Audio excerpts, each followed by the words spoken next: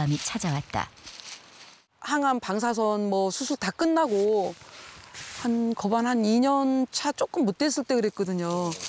근데 저는 한 번 이렇게 쓰나미처럼 지나갔기 때문에 또 다시 오면은 제가 잘 극복할까 그런 불안감이 늘 있잖아요. 근데 처음보다도 더 힘들었어요. 차라리 내가 대신 아팠으면 하는 그런 심정이죠. 이거 뭐 저 먹, 먹질 못하는 게 제일 안타까웠고 수술, 항암 치료, 자궁 적출까지 모든 치료를 마치고 부부는 좋은 환경을 찾아 이곳으로 왔다. 수술하고 변기가 깊었으니까 이제 분명한 거는 이제 항암 치료 했잖아요. 방사선까지 하고 암 환자들이 더 이상 의존할 게 없는 게 이 세 가지를 하면 다 끝나요. 나머지는 내 몫인 거예요. 오롯이 자신의 몫으로 남은 암과의 싸움.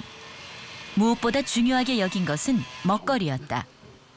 음식에 관심을 갖게 된 그녀는 이곳에서 요리 연구가로 제2의 삶을 시작했다. 저는 여러 가지 어 많이 섞지를 않아요. 그냥 간장이면 간장, 된장이면 된장 이거 이외에는 잘 안 안 해요. 그래서 그 복잡한 맛이 안 날 거예요. 그냥 식품 그 식재료 그대로의 향 그걸 그냥 다 유지시켜 주려고 제가 노력을 많이 했어요.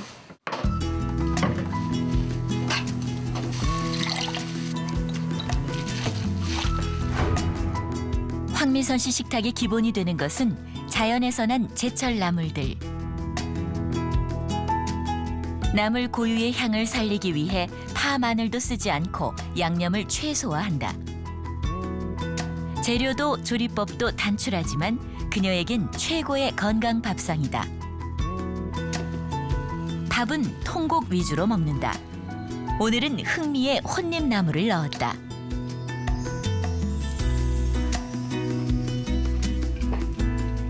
그녀가 먹거리에 관심을 갖게 된 데에는 또 하나의 이유가 있다. 아이들 키우면서 대학에 들어가 늦은 공부를 시작한 황미선 씨. 육아와 학업을 병행하다 보니 식사는 그야말로 엉망이었다. 암 걸릴 즈음에 좀 스트레스를 받았어요. 사람 살다 보면 스트레스 받을 수 있잖아요. 늦게 다니다 보니까 아기도 키우면서 육아해야지. 뭐 내가 공부해야지. 그때 되게 힘들으니까 내 도시락을 안 싸고 젊은 애들 막 워드 같은 거 막 배워야 되니까 배우면서 막 인스턴트 식품을 한 4년 동안 열심히 먹었었어요. 데킹티를 막 후루룩 마셔버려. 자신의 몸을 챙기지 못한 지난 시간이 후회스럽기만 한 황미선 씨. 건강한 삶을 위해서는 건강한 식탁이 기본이 되어야 한다는 것을 이제 누구보다 잘 알고 있다. 계절에 맞는 에너지를 듬뿍. 그러니까 에너지라고 하는 거는 면역성 내지는 영양 성분이 골고루 들어있는 제철 음식, 제철 채소, 제철 과일을 제일로 추천하고 싶어요.